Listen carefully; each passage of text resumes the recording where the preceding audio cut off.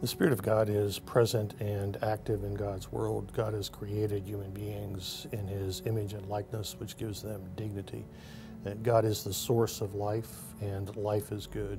And for reasons which are really beyond our ability to know and completely understand, that God is gracious to believers and to non believers, to the elect, to the non elect, and to the elect who are not yet the elect and that he mediates uh, goodness and grace and life to them.